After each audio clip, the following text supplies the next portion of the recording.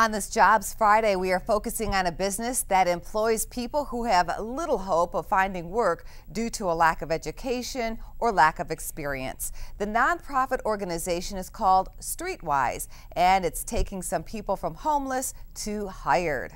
20 years ago, Streetwise was founded in Chicago as a way to get homeless people off the streets and into the workforce by selling magazines. I always promised my daughter when she was born that I would always have some form of employment. Linda Fisher kept that promise by getting a job seven years ago at Streetwise. It beat the alternative.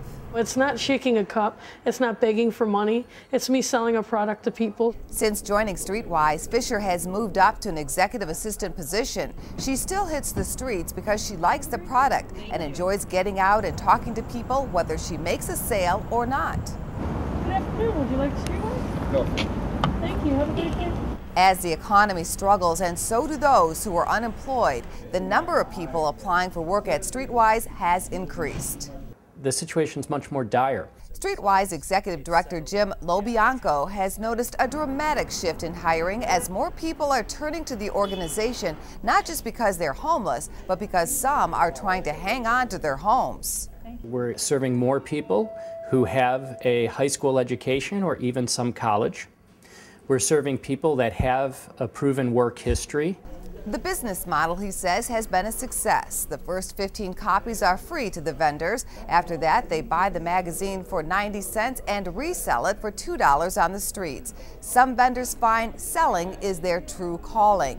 Dion Washington is so upbeat when he works, he gets approached about other opportunities. I actually recently got a job as another vendor at the White Sox Park. So I'm gonna be vending hot dogs, beer, stuff like that. He says working both jobs is a dream come true.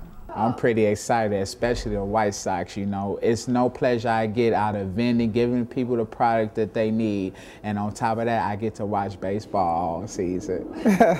Even though selling the magazine isn't always a ball, it is a game changer. You always get somebody that's in a crabby mood that takes it out on the vendor and tells them to go get a job, but people really have to understand that this is their job. And sometimes with a huge payoff, Fisher is going to school to become a paralegal eventually. She wants wants to get her law degree. Streetwise currently employs 200 vendors and could possibly hire as many as 100 more.